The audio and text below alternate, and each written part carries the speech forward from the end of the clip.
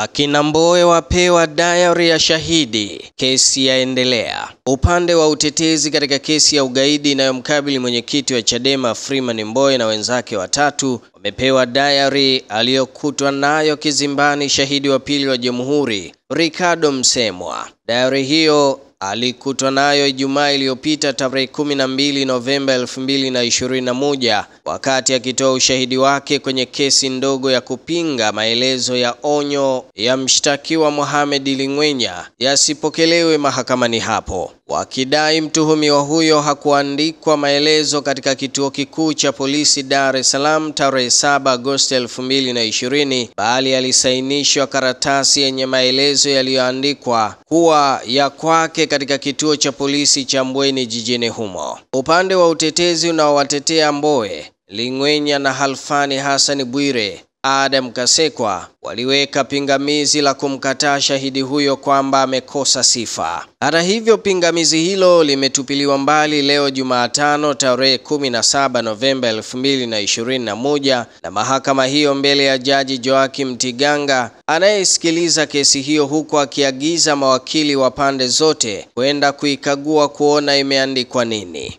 Jaji Tiganga aliahirisha kwa dakika ishirini ili kutoa fursa ya dayari hiyo kukaguliwa, na mara baada ya mahakama kurejea, mawakili wa pande zote walitambulisha pande zao, huku Jeremia Mtobesia aliyewakilisha upande wa utetezi akitaka kuzungumza jambo na kuibua mvutano mdogo. Ilikuwa hivi, Mtobesia akazungumza: Mheshimiwa Jaji, Muda mfupi uliopita tumetoka kwenye zoezi la kukagua diary. Wakili wa serikali akazungumza. Robert Kidando: Objection, Mheshimiwa Jaji, hilo haliruhusiwi hata kidogo na hatuko tayari kuona anaendelea. Uamuzi mdogo umeshatolewa. Mtobesi akaendelea. Mheshimiwa Jaji, Sijui niongee nini nisionekane na mkosea heshima kaka yangu, kwamba sisi hatukuwa tumeenda kufanya mchezo wa kitoto na kisha kurejea nyumbani. Jaji akazungumza.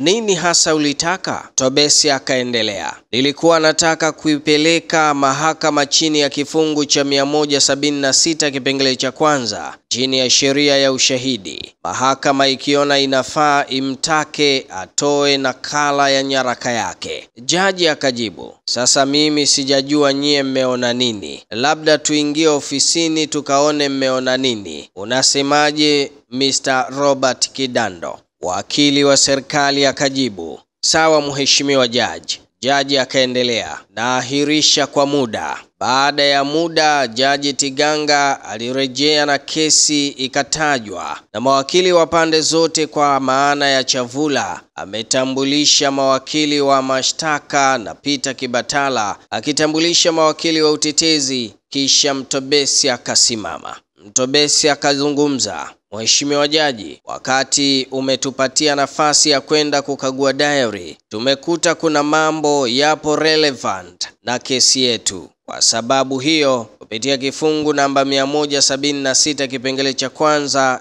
ya sheria ya ushahidi sura ya sita ilivyofanyiwa marekebisho mwaka 2019 naiomba mahakama tupatiwe kama kielelezo. Jaji akauliza upande wa mashtaka. Wakili wa serikali akajibu, Mheshimiwa Jaji, hatuna pingamizi. Jaji akaendelea, basi hiyo relevant part mahakama inaelekeza ichukuliwe na iingie kama sehemu ya kielelezo. Shahidi anaendelea kutoa ushahidi wake mahakamani hapo. Endelea kufuatilia Mwanahalisi Online, Mwanahalisi TV na mitandao yetu ya kijamii kwa habari na taarifa mbalimbali. Naitwa Kelvin Nyorobi. Ili kwa wa kwanza kupata habari zetu, tafadhali usisahau kusubscribe, like na kucomment.